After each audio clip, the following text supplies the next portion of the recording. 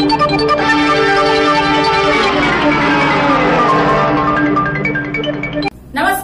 मैं आकांक्षा। आप देख रहे हैं सत्यवार्ता टीवी न्यूज़। आइए नज़र डालते हैं आज की ताज़ा खबरों पे। Halari Visha Oswal, college of commerce principal की दादागिरी बच्चों के भविष्य से हो रहा है खिलवाड़। बच्चों को कर रही है मानसिक प्रताड़ित। जिससे कॉलेज के छात्रों को सड़क पर उतरने को मजबूर होना पड़ा। सत्यवार्ता टीवी न्यूज़ के संवाददाता, मामले की जाँच करने, प्रिंसिपल धोंडे से मुलाकात करने पर किसी भी प्रकार की जानकारी देने से इनकार कर दी। भिवंडी के Shri Halari Vishal Oswal college of commerce के विद्यार्थियों ने कॉलेज के प्रिंसिपल स्नेहल धोंडे के विरोध में नारेबाजी कर अपने साथ हो रहे अत्याचार एवं दुर्व्यवहार के खिलाफ विरोध जताया और न्याय की गुहार लगाई। बता दें, भिवंडी के अंजूर फाटा स्थित ओसवाल शिक्षण एंड राहत संघ द्वारा संचालित श्री विशा ओसवाल कॉलेज ऑफ़ कॉमर्स के विद्यार्थी प्रिंसिपल के खिलाफ रास्ते पर उतरे।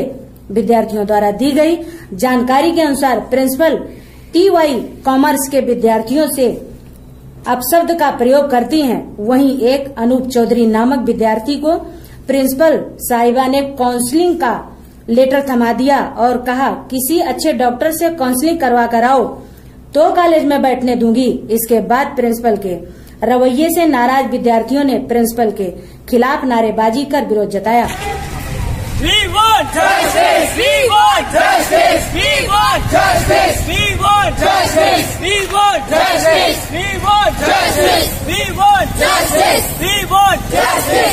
वही सारे मामले की कवरेज करने के बाद स्नेहल धोंडे ने फ़ोन पर धमकी देते हुए कहा कि न्यूज़ फ्लैश मत कीजिएगा नहीं तो आप पर कार्रवाई की जाएगी। वहीं कॉलेज के विद्यार्थियों ने प्रिंसिपल पर कई आरोप लगाते हुए बताया कि पाँच हज़ार रूपए का साइबर से जुड़े हुए कोर्स को हमारे सर मर दिया है।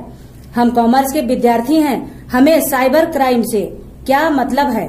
वहीं कॉमर्स के कई विद्यार्थियों ने प्रिंसिपल की मनमानी को बताते हुए कहा कि तुम्हारे इधर?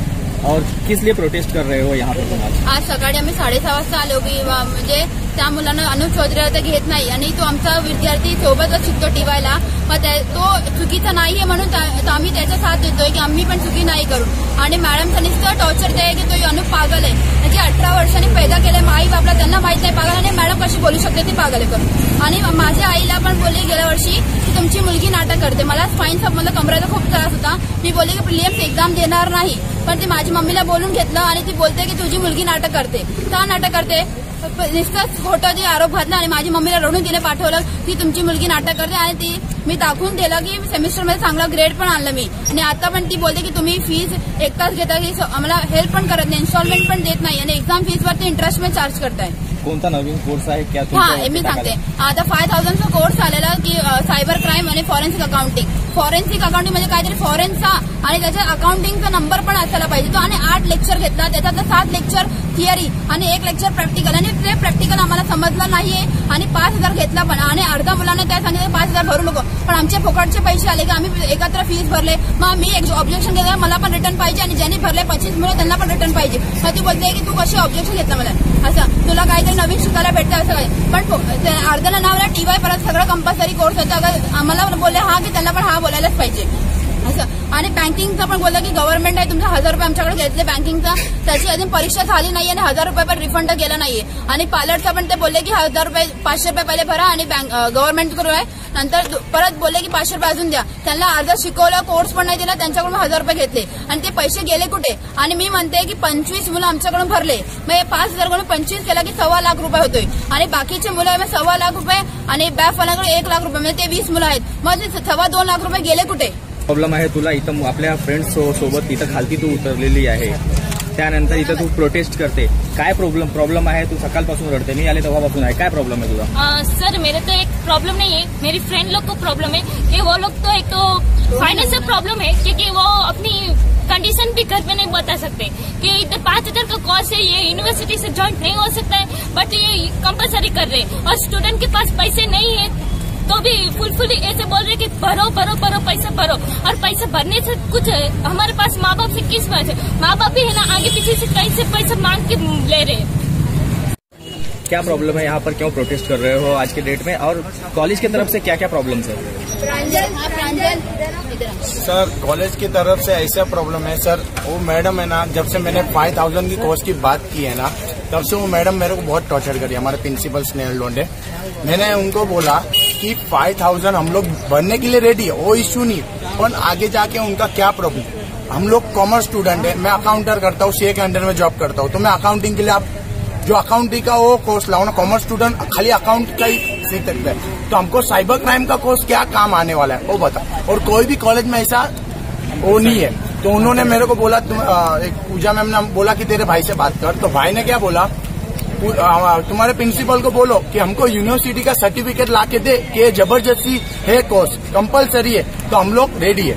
और मैं जॉब पर करता हूँ सर मैं टेन दस बजे मैं निकल जाता हूँ यहाँ से। अकाउंटिंग करने का आता हूँ मैं जॉब पर करता हूँ। उसमें से सर अभी तो आपको सबको मालूम है सबकी फाइनेंस कंडीशन खराब है। और मैडम कंपलसरी करके हम लोग को टॉर्चर कर रही है। कौन से स्टैंडर्ड में हो और इधर क्या प्रॉब्लम हुई? मैडम ने आपको क्या बोला? मैं एफ़ का स्टूडेंट हूँ। हमारे जो सीनियर्स है टी में ये अनूप उसके साथ बहुत गलत हो रहा है, उसको पागल बोल रहे हैं, उसको रेस्टिगेट कर रहे हैं, उसका कोई रीजन नहीं है। इसकी वजह से हम लोग ने सपोर्ट कर, करा है उनको और सपोर्ट करने के लिए जब हम निकले हैं तो पूजा मैडम और रंजीता मैडम ने बोला है कि आप एफ़ के हो, आपका तीन साल हमारे हाथ में, तुम पास होके बताओ।